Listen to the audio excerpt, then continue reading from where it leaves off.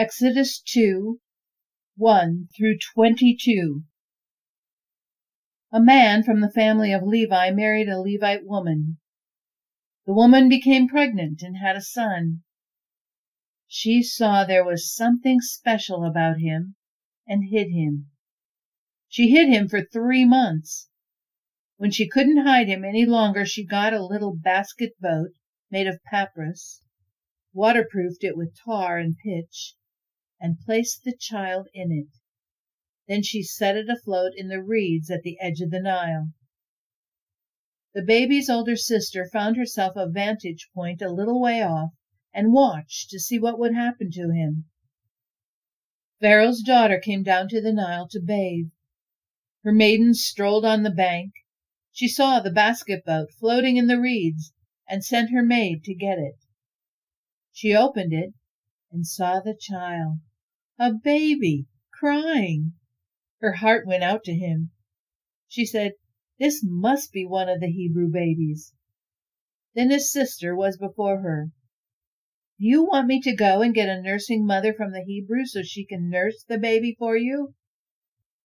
Pharaoh's daughter said, Yes, go. The girl went and called the child's mother. Pharaoh's daughter told her, Take this baby and nurse him for me. I'll pay you. The woman took the child and nursed him. After the child was weaned, she presented him to Pharaoh's daughter, who adopted him as her son.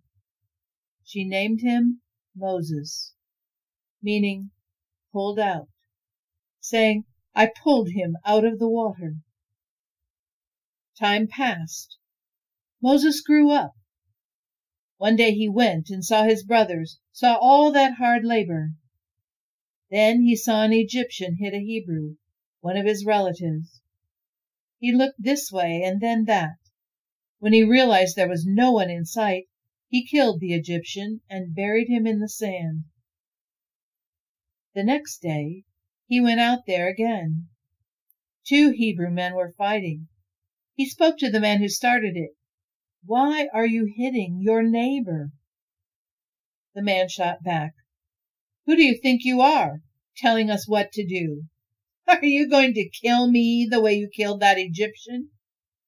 Then Moses panicked. Word's gotten out. People know about this. Pharaoh heard about it and tried to kill Moses. But Moses got away to the land of Midian. He sat down by a well. The priest of Midian had seven daughters. They came and drew water, filling the troughs and watering their father's sheep. When some shepherds came and chased the girls off, Moses came to their rescue and helped them water their sheep.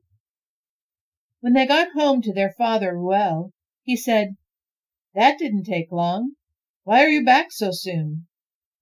An Egyptian, they said, rescued us from a bunch of shepherds why, he even drew water for us and watered the sheep. He said, So where is he? Why did you leave him behind? Invite him so he can have something to eat with us. Moses agreed to settle down with the man, who then gave his daughter Zipporah, meaning bird, to him for his wife.